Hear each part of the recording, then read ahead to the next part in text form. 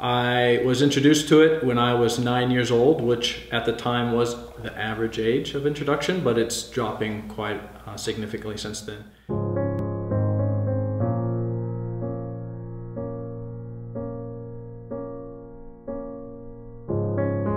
My name is Tyson Hodge, and I'm a male, which means I struggle with pornography, just like uh, the high percentage of most males, even Christian males and I even know it's a, it's a growing percentage with females as well.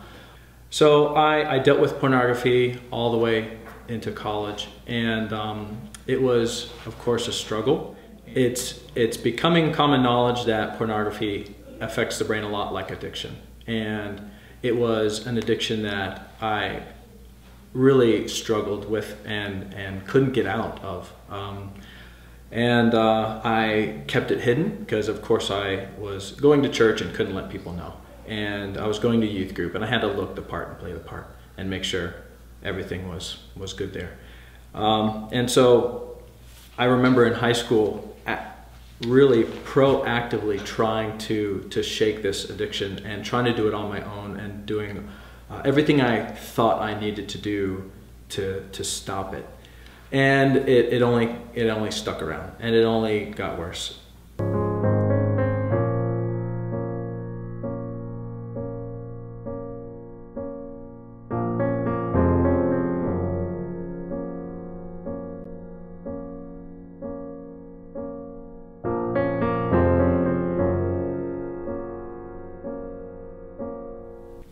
And it wasn't until college that God gave me this kind of uh, vision, that this this kind of um, foresight that if if I didn't if I didn't put a stop on this, it was going to destroy my life, and it was going to destroy my marriage, and it was going to destroy my kids, and it was going to just continue to wreak havoc.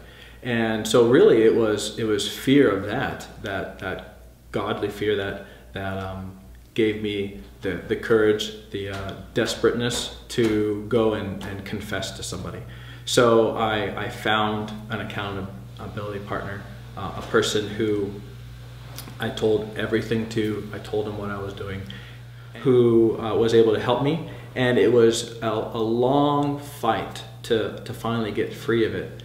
Um, and what was really difficult what, what, what was really hard was, was feeling the isolation, feeling that I was in this alone and I couldn't let it out and just having to deal with it um, on my own. And that's exactly where Satan wanted me. That's exactly what he wanted me to believe so that I would keep it hidden, keep it concealed, and, and stay in that bondage that he had for me.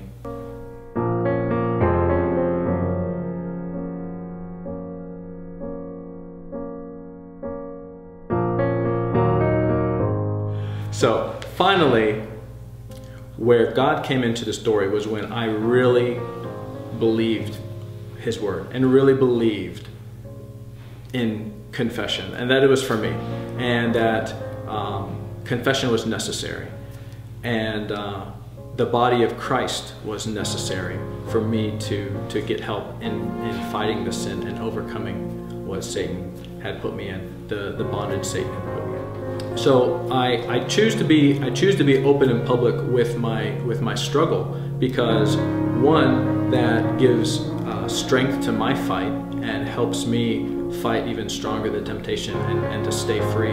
Uh, but two, because I want to be able to communicate to those who are in the battle themselves and struggling on, uh, by themselves, who are believing the lies of Satan, that they have to do this on their own and they have to keep it hidden. When when you bring when you bring it out and confess and seek accountability and help with the body of Christ, that's when freedom comes.